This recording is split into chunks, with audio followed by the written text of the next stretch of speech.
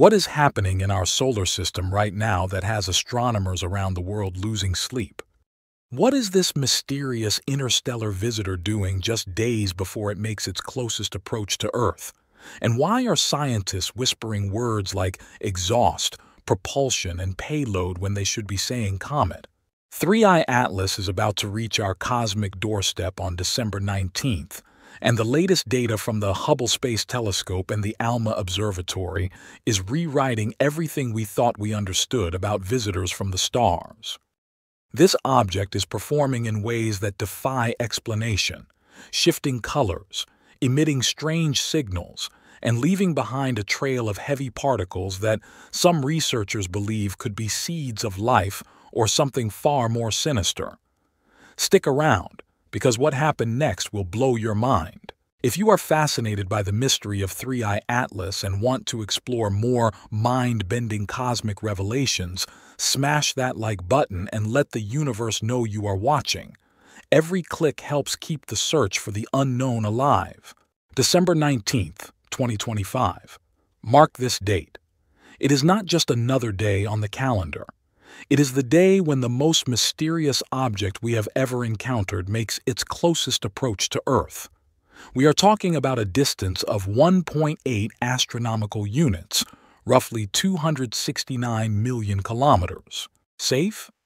Yes. Boring? Absolutely not, because what we are seeing right now, just days before this encounter, is changing everything we thought we knew about comets, about the cosmos, and perhaps about our place in it. Now, if you are new here, you have arrived at the critical moment. We are tracking 3I Atlas, the third confirmed visitor from the stars. But unlike Oumuamua, which tumbled past us as a dark, silent shard, and unlike Borisov, which looked like a standard snowball from deep space, 3I Atlas is performing. It is putting on a show that has astronomers baffled and the rest of us asking uncomfortable questions.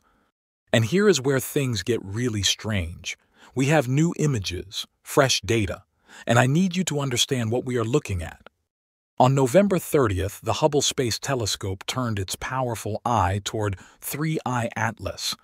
The object was moving away from the Sun, retreating into the darkness of space. Now you would expect a comet to behave like a comet, right?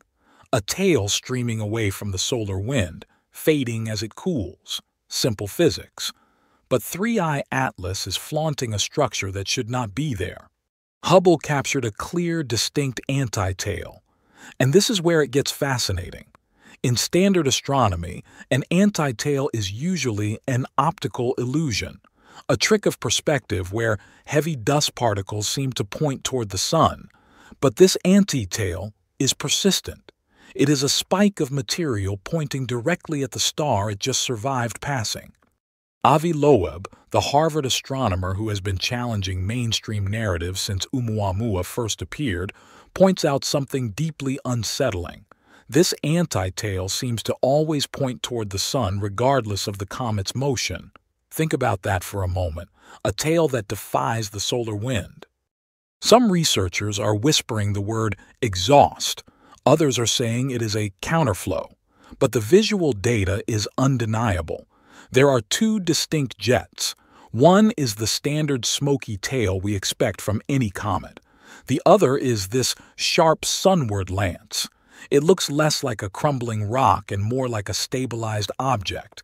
And later in this video, we are going to explore what that stabilization might actually mean for the nature of this visitor. But the real story, the one that might change history, is not just in what we see, it is in what we smell.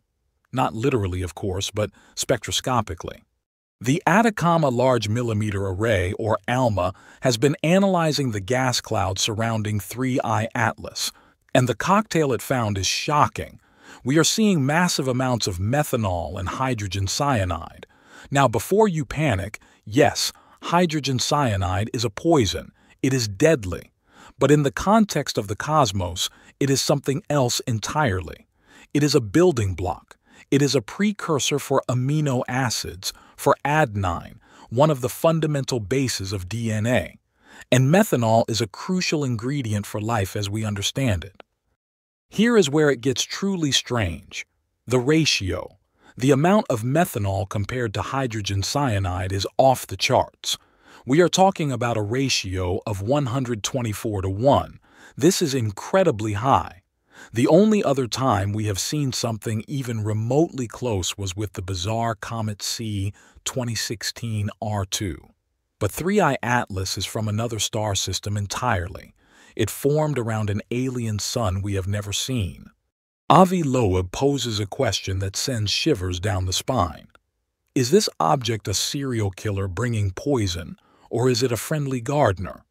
Imagine a gardener walking through a barren field scattering seeds, methanol, hydrogen cyanide, the ingredients for biology. Is 3i Atlas a natural panspermia vessel, a rock that just happens to be loaded with the starter kit for life? Or is it something else, something designed? The friendly gardener hypothesis suggests that this object might be intentionally distributing the chemistry of life, the high methanol content is the signature. It is not just a random mix. It is a specific, life-enabling cocktail. And it is venting this cocktail into our solar system right now as we speak. And remember that anti-tail, the one pointing at the sun. If you were a gardener, would you not want to direct your spray? I'm not saying it is aliens, but I am saying that if you were to design a machine to seed life across the galaxy, it might look exactly like this. A dark crust to protect the payload, jets to stabilize the orbit, and a wake of organic molecules left behind wherever it travels. We are watching a celestial crop duster pass by Earth. And on December 19th, it will be right in our neighborhood. But wait, there is more, the color. And this is something you absolutely need to understand before the 19th arrives. 3I Atlas has been shifting. It started red, deep, dark red. That is standard for interstellar objects, millions of years of cosmic rays baking the surface into a carbon-rich crust. We expected that. It was the color of age, the color of a traveler that has seen the void between stars. Then, as it dove toward the sun, it turned green, emerald green, that is, diatomic carbon and cyanogen burning off. Rare but natural. It happens with some comets. But now, as it speeds away from the sun and heads toward us, it has shifted again. It is blue, a deep electric blue. Blue is difficult. In the language of comets, blue usually means ionized carbon monoxide or nitrogen. It means high energy. It means heat. But 3i Atlas is moving away from the heat source. It should be cooling down. It should be fading back to red or gray. Instead, it is glowing with this electric azure hue. Why? One theory is that the sun stripped away the old red crust, exposing a pristine icy interior that we have never seen before. A fresh surface from another star system, a rebirth of the object. But there is another possibility, a possibility that keeps people like Avi Loeb awake at night. What if the color change is not just chemistry? What if it is a byproduct of propulsion? And by the end of this video, you will understand why that question matters so much. This brings us to the movement itself, the trajectory. We know 3i Atlas is on a hyperbolic orbit. It is fast, too fast to be captured by the sun's gravity, it is just passing through, but the way it is passing through is making orbital dynamicists sweat. We are seeing non-gravitational acceleration. Now comets do this naturally. They heat up. Gas shoots out like a jet and it pushes the rock. It is the rocket effect, nature's little thruster. But usually that thrust is chaotic. It tumbles the comet. It is messy. It makes the object wobble unpredictably. 3i Atlas is smooth. The acceleration is consistent. And remember those jets, the anti-tail pointing at the sun. It is acting like a stabilizer. It is keeping the object oriented in a way that seems almost deliberate. Avi Loeb suggested months ago that if this object were artificial, it might use the sun for a gravity assist, an Oberth maneuver. You dive deep into the gravity well, fire your engines at the point of closest approach, and you get a massive slingshot boost. 3i Atlas dove deep. It survived a proximity to the sun that should have torn a loose pile of rubble apart. It did not disintegrate. It brightened. It shifted color. And it came out the other side with a trajectory that is just slightly off from a purely gravitational curve. Is it correcting its course to get a better look at Earth? Or is it simply trying to leave our system as fast as possible? And while it moves, it hums. We need to talk about those radio signals. On November 10th, rumors started flying across the scientific community. The Meerkat radio telescope in South Africa picked up emissions, frequencies around 1665 and 1667 megahertz. The internet exploded. People were saying it is phoning home. It is a beacon. The official explanation? Hydroxyl radicals, molecules breaking down in the sunlight, natural, boring, expected. Scientists say the comet is not talking, it is just screaming in radio waves as it boils away. But here is the thing about natural explanations. They work until they do not. We are seeing a combination of anomalies that is statistically uncomfortable. The trajectory, the survival of the solar passage, the anti-tail, the specific chemical payload, and now the radio glow. Each one alone could be explained away, Together, they paint a picture that demands attention. And here is a detail that does not make the headlines. The signal is steady. Usually, cometary radio noise bursts and fades as the object rotates and active vents turn toward and away from us. 3i Atlas produces a hum, a constant drone.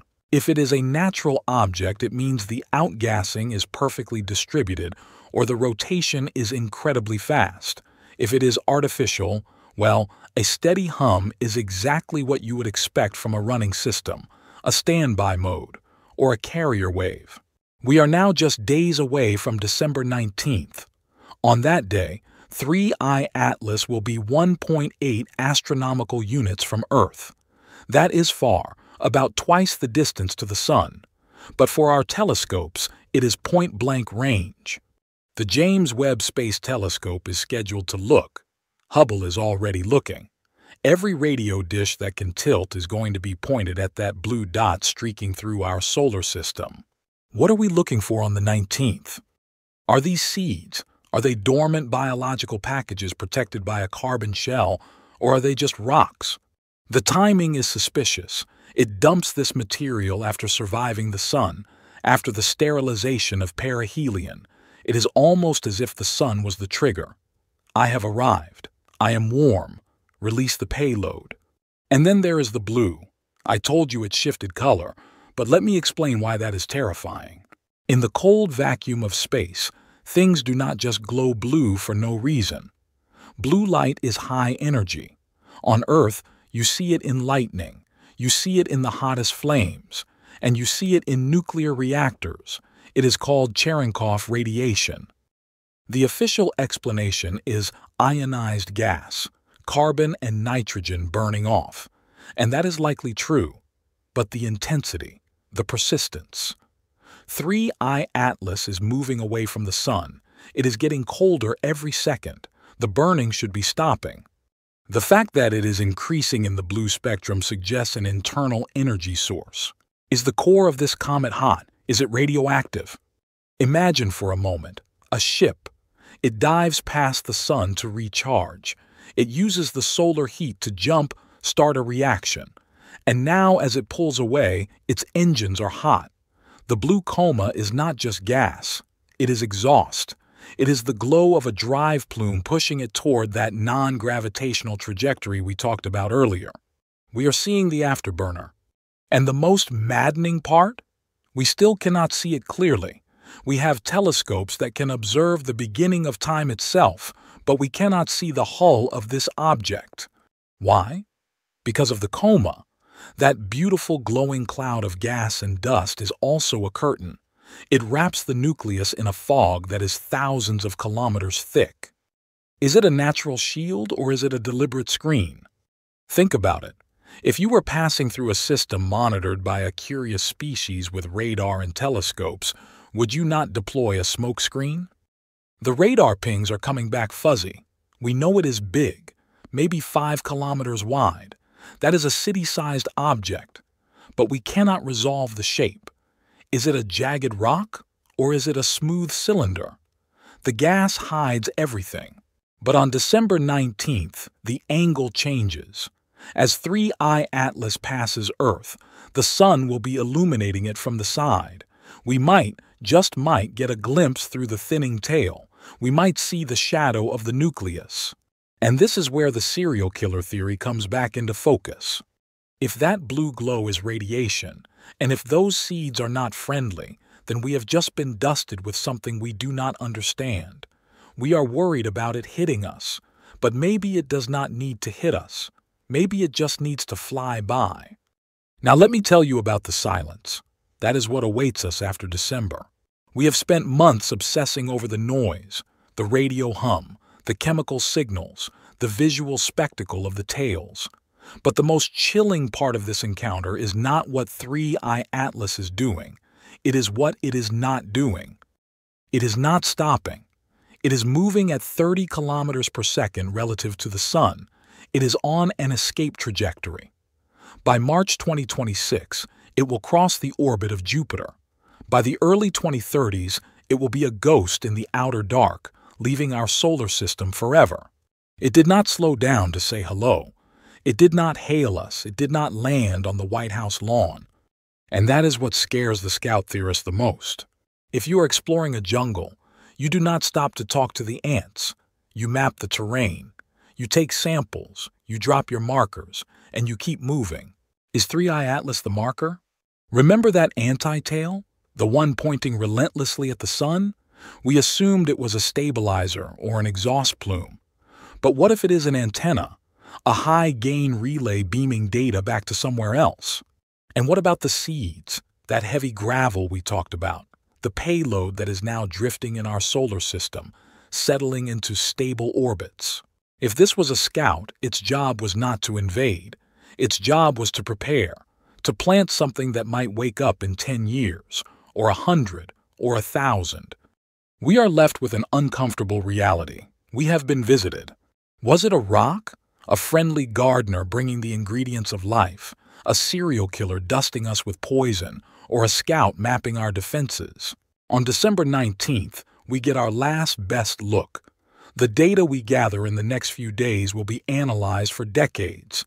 We will look for the hull through the thinning gas. We will listen to the hum. We will analyze that electric blue light. But after the 19th, the door starts to close, the visitor turns its back, the light will fade, the hum will drop below the static. The universe just knocked on our door. We need to be awake to answer. Do not stop here. The universe is full of secrets waiting to be uncovered. Click on the next video and join us as we explore even more astonishing mysteries from the farthest reaches of space. The cosmos is speaking, and together we are listening.